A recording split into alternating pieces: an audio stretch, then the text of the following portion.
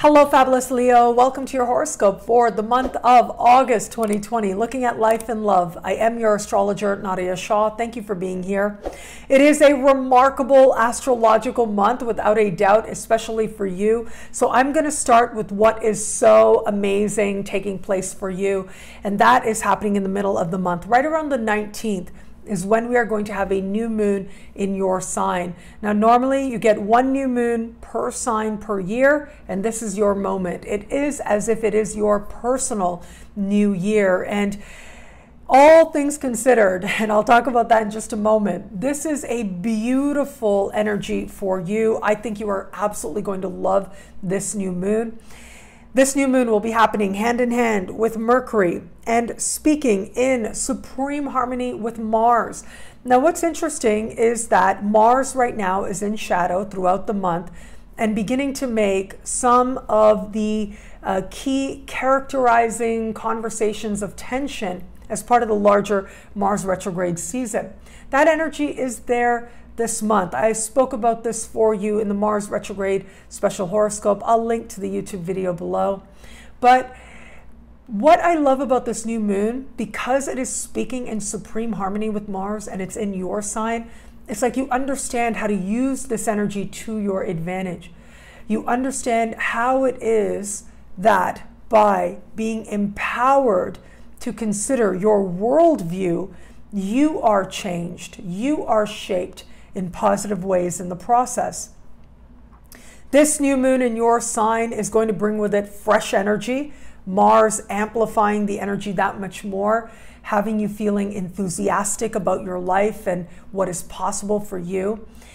And Mercury is going to bring with it brilliance and new ideas. It is mind ultimately that is intimately connected to the new beginning you are experiencing at this time. Now, for some of you, this is going to be a new way to identify. Uh, when you have a new moon in your sign, it has to do with what matters to you most, what matters to you first, what you understand your identity to be, and what you hold nearest and dearest to you. And it is these very areas that are getting fresh energy and a burst of excitement, a burst of feeling as if you finally see things in a way that is clear and in a way that works to your advantage. In a practical sense, things can change now as you gear up to feel a sense of starting new chapters, but also you may just feel different. You may feel better than you have in a while. I think this new moon can't come soon enough because it is as if it restores the energy and the focus back on you and what you really want. And that in turn can't help but make you feel like you can go forward that much stronger and clearer about who you are. And to carry that energy forward in every area of life at that. And this is going to be important to remember as you're starting this month because at the beginning of the month, that's where the energy is a little bit tricky. And I'm so sorry to say, but it does happen that not all celestial phenomenons are going to be easy breezy. We are going to have times of challenge. And ultimately, it is how we navigate the challenge that informs something about who we are. And it is that information that allows us to build healthy self respect. And so, we have a full moon happening right around the third of the month. You will feel this energy right out of the gate at the very beginning of the month. And this full moon, of course, is a moon standing across the sky from the sun in your sign. And it is setting up what astrologers call a T square. This is a larger conversation of tension, and there may even be frustration. Because it is a Uranus involved in this T square, there are surprises and perhaps even erratic behavior uh, a sense that things are changing almost out of nowhere as you are gaining fresh understanding, fresh insight, and very likely related to self, yes, but related to another person as well. Now, this may be connected to someone that you are in alignment with in terms of a business partnership, a professional alliance. One of these people may very suddenly leave at this time. It does happen, and it can feel especially dramatic when we have this type of energy. It can feel like it comes out of nowhere.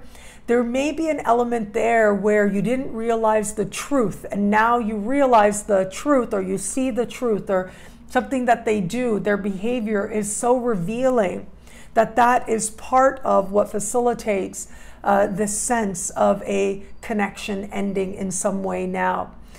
Whatever happens, know that who's supposed to be there is going to be there, who's not supposed to be there won't be there.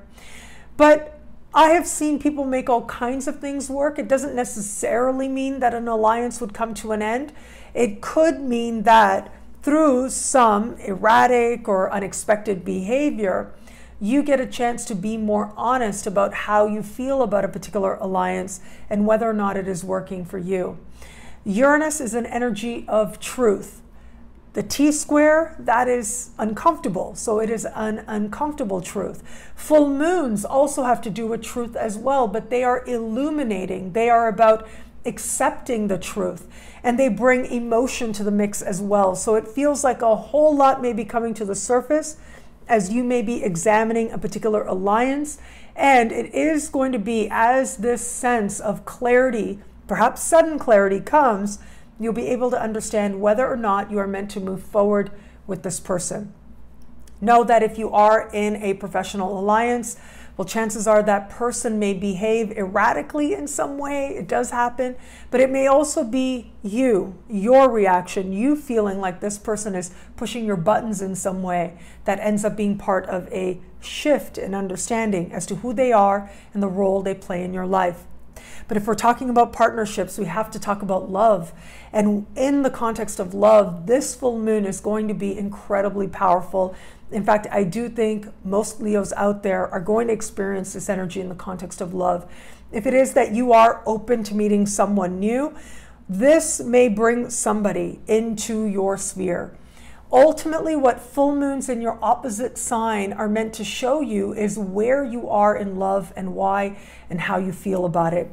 And it may very well be in the first days of this month, you have a key interaction with another person that feels like it provokes you in unexpected ways or leads you to have new understandings that perhaps are accompanied with or come through uh, a sense of some frustration.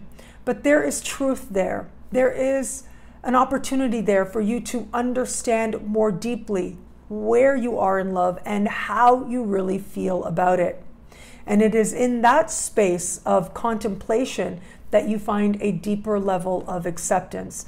For those of you who are just starting to date somebody, again, truth is the key word as you are beginning this month in the full moon, and you will see some truth about this person. This is a very quick all or nothing realization. If it is that this is somebody that you want to continue to develop something more substantial with, that clarity will come very quickly and it'll move forward very quickly at that. But there may also be the situation where you quickly or even in an instant realize some truth about this person that makes you understand that you're ready to go in a different direction. And for those of you in an established bond, this is going to be a time of truth and of honesty as to who this person is, who it is that you are. It may feel as if there are sensitive feelings here. Now, where it is that if you have been holding something back that you know matters, that you know is important, that may come to the surface at this time very suddenly. If it is that your partner may have been holding something back, that can come to the surface now very suddenly as well. But it is also possible that it is going to be this full moon that allows the two of you to very spontaneously, if not unexpectedly, uh, be very honest with each other about a key matter. Now, regardless of what it is, know that for both people, you and your partner, uh, tension may be running high, energy may be running high. This is an opportunity for the two of you to be more clear, to be more out in the open as to what you really have been feeling, what really has been going on. And it is in that honesty that you will find a renewed sense of knowing how to move forward from here. At the very least, though, it is possible that one or both of you is feeling especially touchy at this time and has an unexpected reaction to a given conversation or interaction. But of course, it is also possible that this energy doesn't necessarily play out in your established bond, and it may instead be directed towards a more uh, of a professional or business alliance. What I love about this month for you, well, look, it is a very important astrological month for you, and that is what I love about it. It is defining in key ways. Even with all of that very erratic energy as we begin the month, by the time we navigate towards the middle of the month, you are gaining perspective, you are gaining clarity, you are gaining a clearer sense now as to who it is that you are at your very best, but also who it is that someone else may be and the frustrations that might be there. Regardless, it is honest, it is real, and you are on the precipice of a sense of a brand new chapter a bright and bold new beginning, one that feels empowered and exciting. Well, thank you so much for watching. You can get a video like this every week by logging on to nadiyashah.com. Sign up to be one of my superstars. Superstars get expanded exclusive video scopes each and every week, unlimited access to special horoscopes and more. All of this in the superstar space. I look forward to meeting you there. It'll be a great month. Enjoy.